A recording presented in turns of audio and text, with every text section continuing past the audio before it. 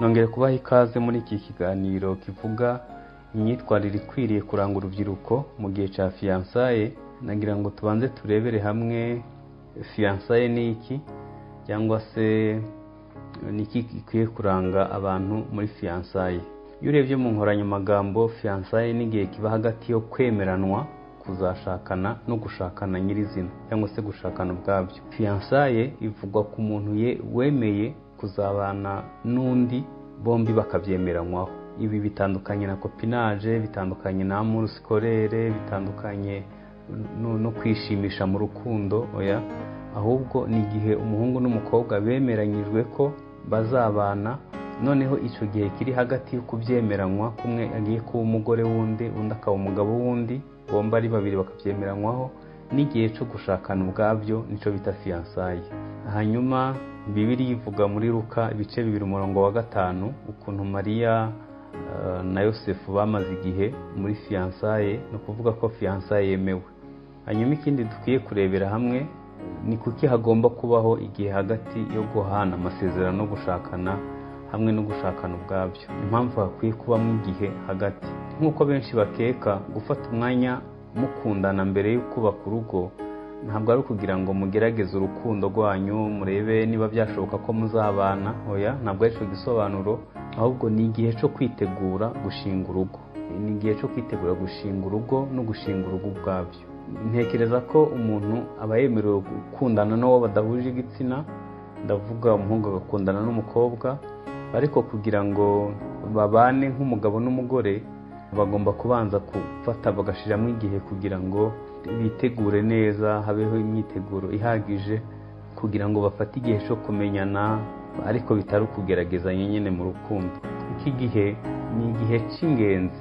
Ni igihe cy'ingenzi kibamo ibinyoma byinshi ariko nanone abantu bakwiye kuberamo maso kuruta ikindi gihe cyose.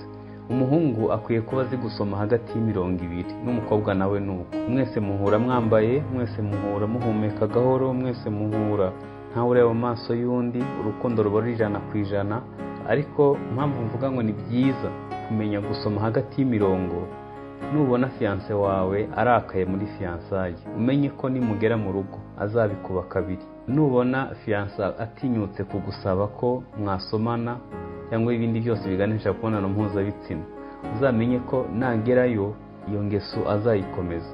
Nubona atagira gahunda. Muvugana saa mbiri akaza saa tanu. Uzamenye ko iyo ngeso ari ubuzima bwe. Nubona umuntu muri fiyansaye utinyutse kukubesha. Uzamenye ko nugerayo azajya kubesha wumigwe ukwiye kumenya kumenya ngo kuri uyu muntu ni izihe ngeso zihinduka ni izihe ngeso zidahinduka.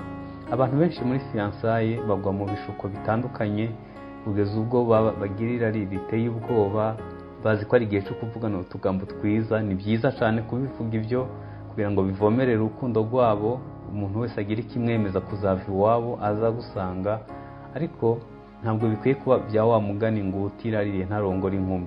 Nushyiramo kwirarira ugashyiramo ibinyoma ukajya umubesha idahari uzaba urimo kwiyicira ejo hazaza. Mu by'ukuri ukwiye kuba uri umuntu w'umunyakuri ugakora fiyansaye yera mukazashingirwa muri abantu babashije kumenyana ukamenya ingeso zihinduka n'izidahinduka. Fiyansaye rero itangira mu gihe habayeho amasezerano hagati y'umuhungu n'umukobwa. Ayo masezerano imana ibiyareba ni amasezerano aba hagati y'umuhungu n'umukobwa umwe akazemera kuba umugabo w'undi mukabyemeranywaho mutagamije ikindi kintu mwarafashe igihe cyo kubitekerezaho. Hanyuma ni byiza ko mubyereka ababyeyi cyangwa se abakorera niba utagira ababyeyi ni byiza ko fiyanse yanyu mutangiye imenyeshwa itorero ukamenyesha abashumba bawe. Ni na byiza ko wamenyesha inshuti zawe zitakugirira ishari ukabamenyesha ko utangiye wiyemeje kuba mu rukundo n'undi muntu.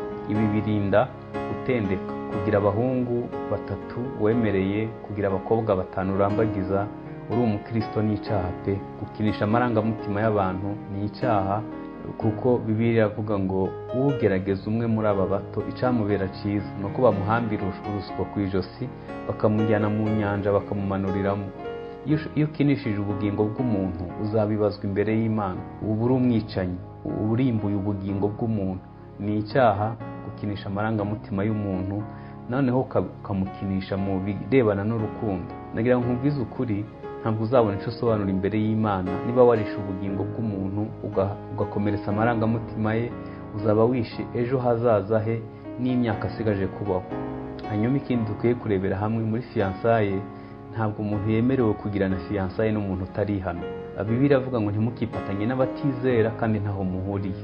Mbega nta sano riri hagati y'ukiranuka n'ukiranirwa niko mu bakorintoga ba kabiri gatandatu cumi na kane havuga umuco n'umwijima ntaho bikwiye kuba bihurira. Biratangaje njye maze imyaka myinshi ndi umupasiteri nagiye mbona abakobwa benshi baza bakambwira ngo nabo nakunze umuhungu ntabwo ntabwo akijijwe ihangane umumbatirize ibisigaye nzimenya nzamuhindura.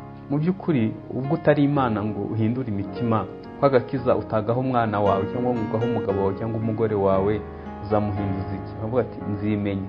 Ntaho bitaniye na bimwe satani yaganiriye na yesu mu butayu akamubwira ngo urashonje hindura ibuye urihindure umugati. Yaramubwiye ngo umuntu ntatungwa n'umutima gusa. Nagira ngo ubwize ukuri uyu muntu ushaka kubatirisha hanyuma ukibwira ko uzamwerera imbuto ugezeyo wenda washutswe n'imodoka afite inzu cyangwa se ko avuga neza ariko nugerayo ikiguzi cyabyo kizaguhenda ubuzima bwose. Kuko gukomera k'urugo ni urufatiro. Iyo uwiteka atari we yubaka abubaka baruhira ubusa. Ni ukuvuga ko wiyemeje kuzaruha ubuzima bwose. Kandi nubwo wazagera wenda bikagenda neza urugo rukubakwa. Nagira ngo nkwibutse ko ntabwo uzaba uri mu mugambi w'imana. Igihe uzahagurukirwa n'ikuzimu amarembo y'ikuzimu agahaguruka uzabona ubutabazi. Nta muntu w'umukristo ukwiye gushakana n'udakijijwe. Hanyuma nagira ngo turebe ibyo umuntu yakwibandaho mu guhitamo bazabana hari abantu benshi basaba imana ibimenyetso bakavuga ngo azaze yambaye ishati y'umutuku n'ipantaro y'umukara azaze tuzahura mpobere nagira ngo mbabwize ukuri ibi bimenyetso ntabwo ari ibyo umukristo akwiye gushingiraho n'ubuhanuzi n'inzozi. Niba wabonye umuntu ukamukunda kumurota biroroshye. Inzozi nyinshi ziva ku miruho. Ntabwo umuntu akwiye gushingira fiyansaye ku nzozi ntabwo akwiye kubishingira ku mayerekwa hano ntabwo turwanyije impano z'imana zibaho n'ubuhanuzi bw'ukuri bubaho ariko ntabwo bikwiye gushingirwaho wiyemeza kubana n'undi. Ikintu gikwiye gushingirwaho ni urukundo.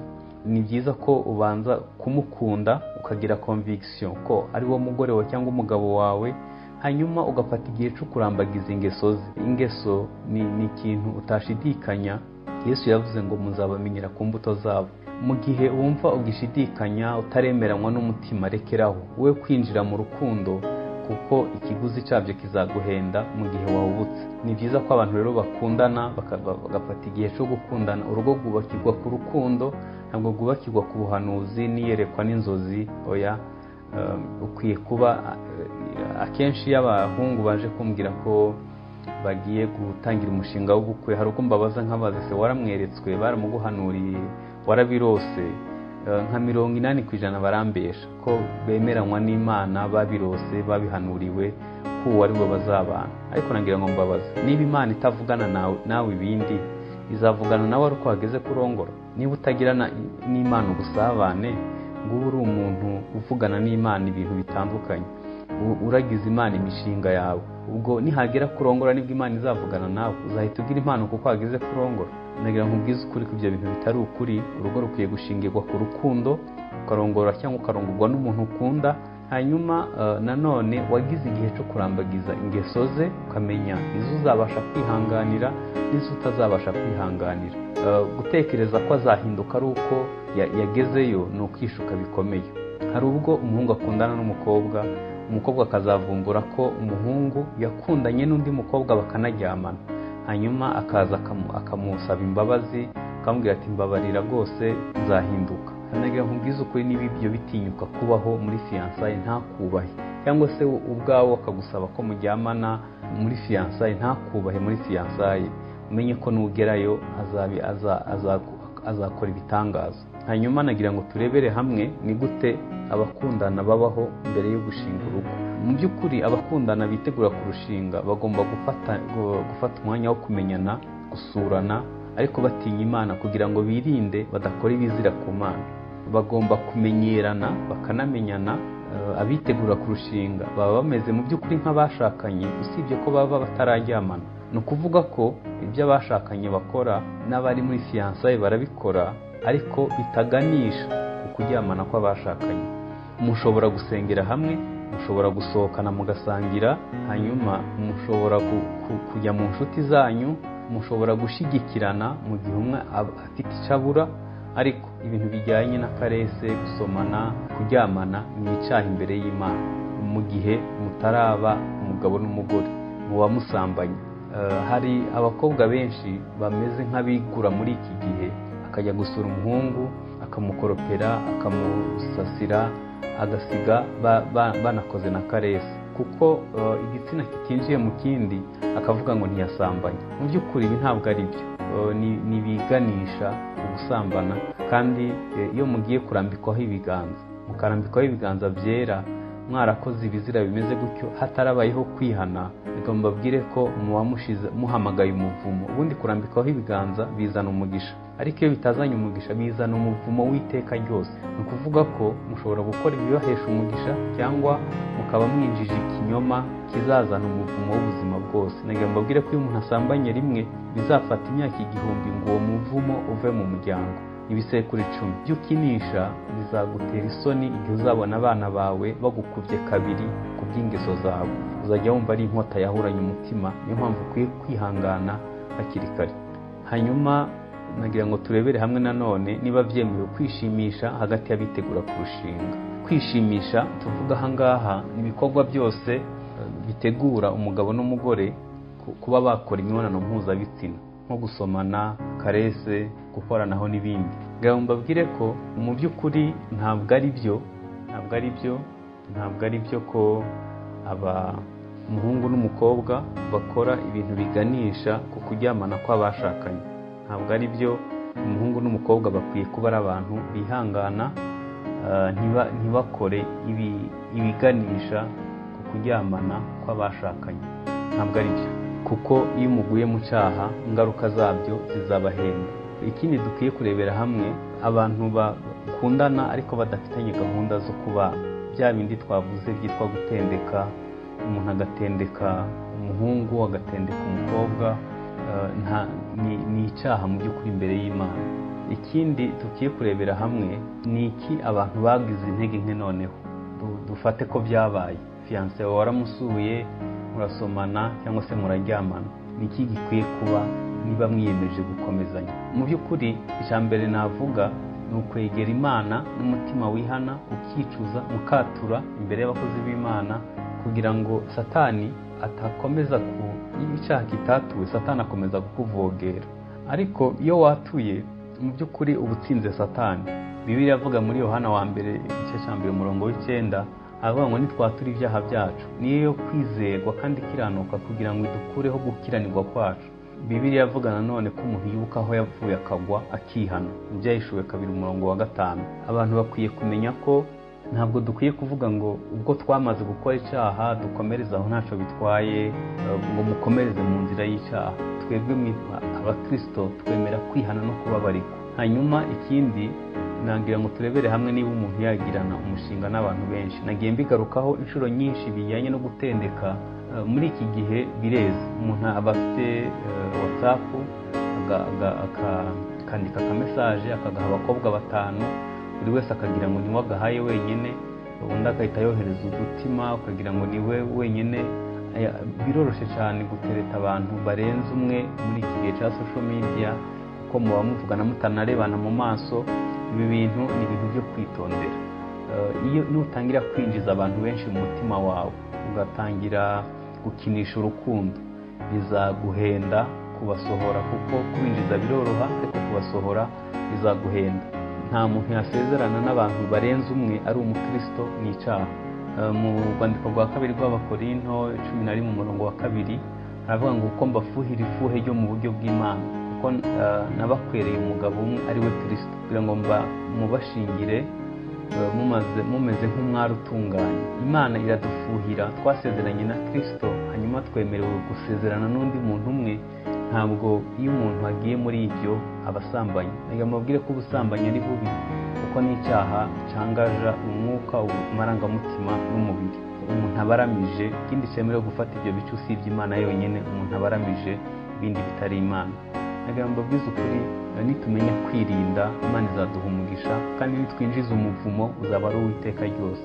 Nugera mu rugo nkubwiye uzabibona niba warakinishije ibitari byiza uzatangira kubona ingaruka ibyo niba utarabaye umwizerwa bizagusaba ikiguzi cy'ubuzima bwose usigaje kubaho uzahora ubyishyura mu gihe utabashije kurinda ubwizerwa nagira ngo mbabwire ko nanone ikindi ni uko impanda ishobora kuvuga cyangwa urupfu rukaza. Niyo mpamvu dukwiye guhora twiteguye ko Yesu azagaruka hanyuma tukabana n'imana mu buryo bukwiriye kugira ngo impanda nivuga tuzabeho tudafite umutima uducira urubanza cyangwa kirisito agaruka. Cyane ko dusezerana akaramata twasezeranye na Yesu mbere y'abandi bantu bose hanyuma dusezerana na mugenzi wawe ukwiye kwisanzwe twebwe dukangurira abantu kubaka urugo rwa gikirisito niyo mpamvu tubabwira gukora ibyo bakora byose ndavuga fiyansaye mu buryo bwa gikirisito bitari kubaka mu buryo busanzwe gutyo gusa.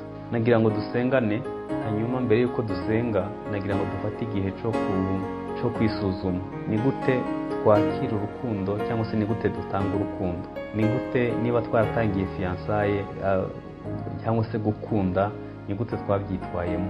Igihe wagize umuntu ukunda byakugendekeye bite? Nagira ngo dufate igihe cyo kubitekerezaho ni ayahe makosa twakoreye mu rukundo? Ni gute dutekereza urugo rwacu mu gihe kizakurikiraho bitari ukwinezeza kw'aka kanya. Urebye hirya kure tubayeho ese ntiwaba uri mu myaka yo kwicuza kubera amafuti menshi wagiye ukora mu rukundo? Nagira ngo ubwire inkuru nziza umwana yakubabarira yakubatura ku byakubase washobora kuba umutsinzi no kurushaho ubiheshejwe n'amaraso ya kirisito yesu. Nagira ngo dusengane hanyuma kandi niba ukeneye kwatura ukeneye n'uwagufasha ni byiza ko usanga abagushumbye cyangwa se abagufasha mu by'umwuka kugira ngo ubashe kubohoka umutima data mu izina rya yesu ushimiye ijambo ryawe reka udufashe uduhe ibihe byiza turindishe imbaraga zawe zikomeye ubabarire abana bawe ubahe kubaho mu rukundo bejejwe kugira ngo ubwo uzagaruka bazabe bakiri maso batarimbataho ikintu icyo ari cyo cyose. Mu izina rya yesu amen.